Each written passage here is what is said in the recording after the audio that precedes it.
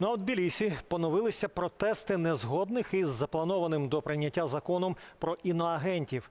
Масові мітинги відбуваються під прапорами Грузії та Євросоюзу. Тамтешній парламент документ готує до ухвалення. Торік у березні, після першого читання, грузини вийшли під гаслами Російська диктатура не пройде. Їх розганяли газом, водометами, ну і гумовими кулями. То у чому суть ухваленого парламентом законопроєкту?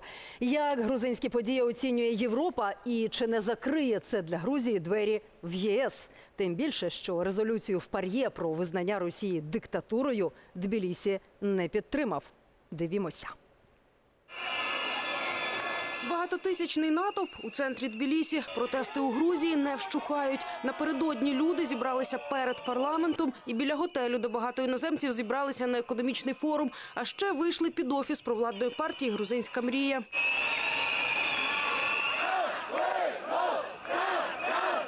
Грузинську мрію про російського політика Бідзіна Іванішвілі мітингарі називають головним ворогом країни, бо саме її депутати проголосували за скандальний законопроект про прозорість іноземного впливу, іншими словами, про іноагентів. Документ передбачає обмеження свободи слова та діяльності неурядових організацій, які бодай частково фінансуються з-за кордону. Така норма вже діє в путінській Росії. Тож грузини кажуть, зараз йдеться не просто про закон, а про майбутнє країни. Звісно, люди не можуть втомитися і розійтися, якщо йдеться про вибір між авторитаризмом та демократією, між свободою слова та рабством. Ми завжди об'єднувалися у вирішальній миті для спільної боротьби. Законопроект про іноагентів, фактично скопійований з російського, грузинська мрія намагалася ухвалити ще торік. І тоді теж отримала порцію протестів. У жовтні в країні заплановані парламентські вибори, тож мітингарі певні. Саме тому скандальний документ намагаються ухвалити зараз. Цей закон це повна блокада свободи слова. Його намагаються протягнути повторно перед виборами. Тож у нас виникає питання, чому зараз, а не після виборів? Тим більше, що ми всі хочемо чесних і вільних виборів. Це викликає підозри, особливо у контексті того, як історія з такими законами розвивалася в Росії. За законопроект ще мають проголосувати в третьому читанні у середині травня. Президент країни Саломе Зурабішвілі пообіцяла накласти вето на документ. Утім, російський закон не єдина проблема Грузії, заявила вона в інтерв'ю німецькому телеканалу Deutsche Welle.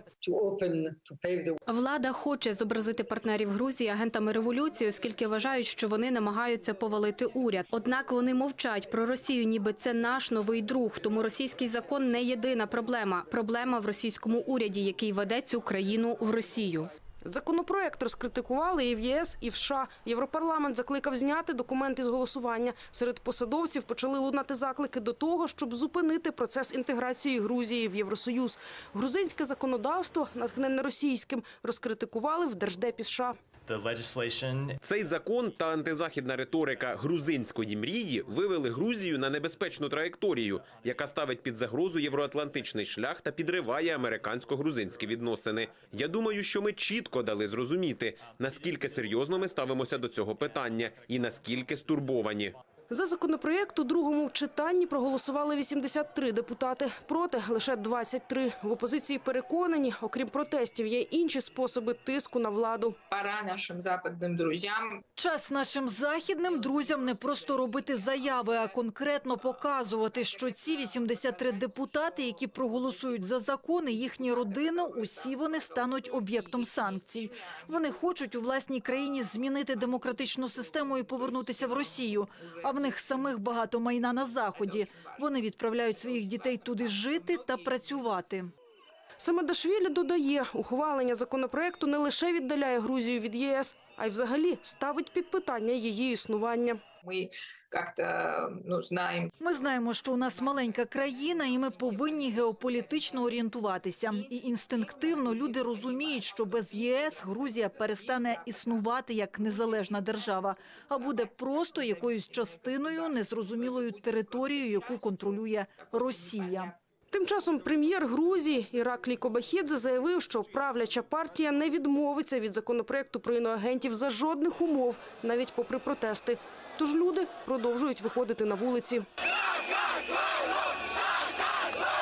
Леся Головіна, ми Україна, марафон Єдині новини.